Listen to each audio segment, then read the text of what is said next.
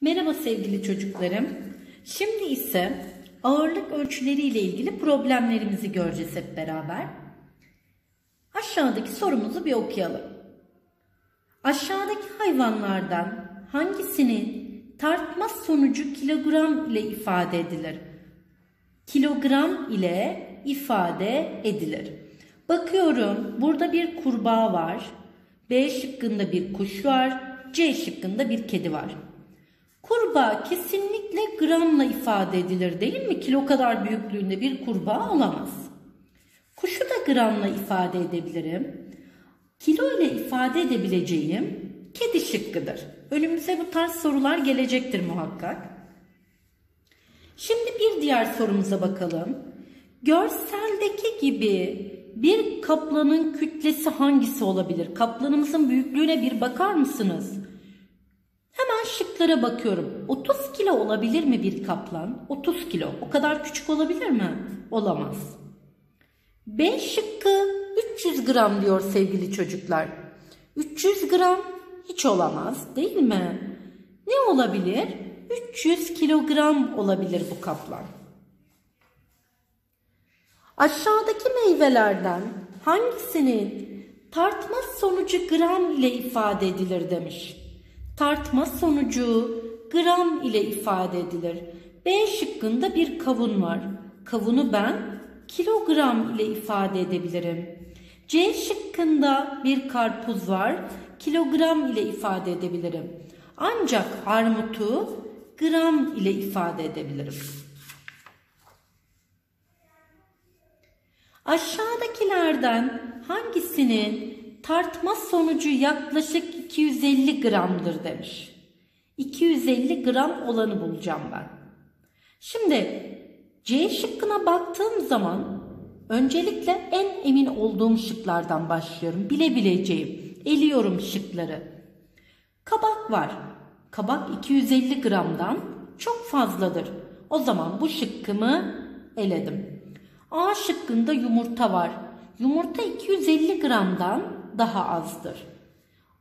Diyorum ki 250 gram olan olsa olsa ekmektir diyorum ve B şıkkımı işaretledim.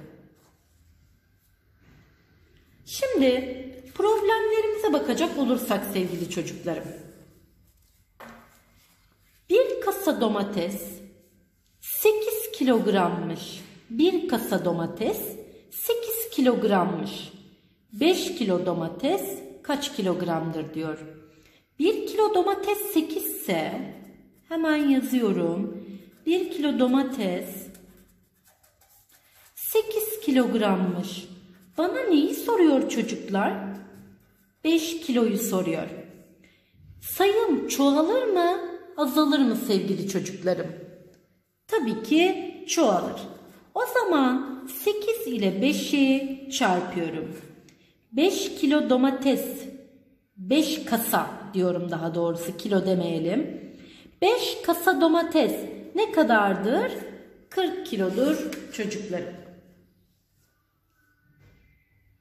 Şimdi annem 85 kilogramdır. Annem bir ayda 3000 gram zayıflamıştır diyorum.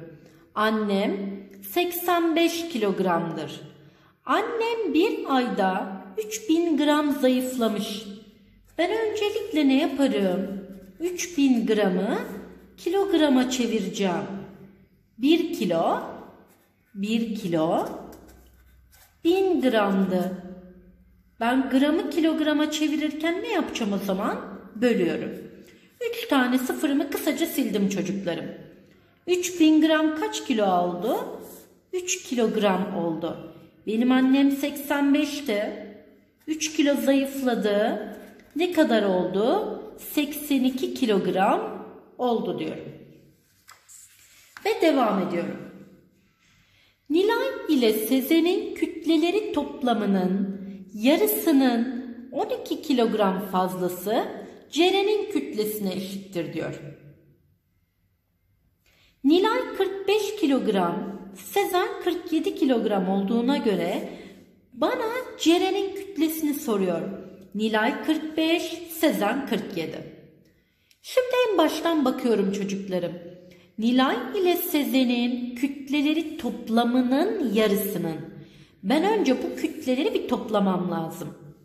O zaman 45 ile 47'yi topluyorum. 7, 5 daha 12, elde var 1, 4, 4 daha 8, 1 daha 9. 92 kilo yapıyor. Toplamının yarısı diyorum. 92'yi ne yapıyorum sevgili çocuklarım? Yarısı deyince 2'ye bölüyorum. 9'da 2 4 kere var. 4 kere 2 8 diyorum. 9'dan 8 çıktı 1. 2'yi de indiriyorum. 12'de 2 6 kere var. 6 kere 2 12 diyorum. Yarısını buldum. Ne kadarmış? 46. 12 kilogram fazlası. 46 ile 12'yi topluyorum çocuklarım.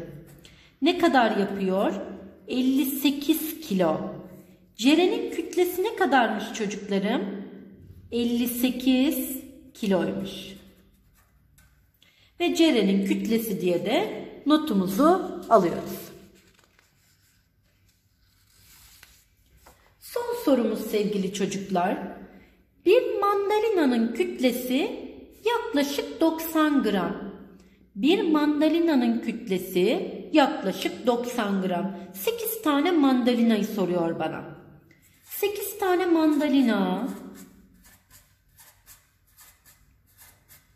8 tane çizdim.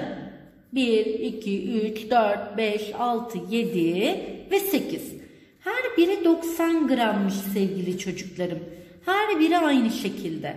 Benim sayım artar mı, azalır mı? Artıyor. Evet. 90 ile 8'i çarpıyorum. 8 kere 0, 0. 8 kere 9, 72. 750 gram 8 tane mandalinanın kütlesi sevgili çocuklarım.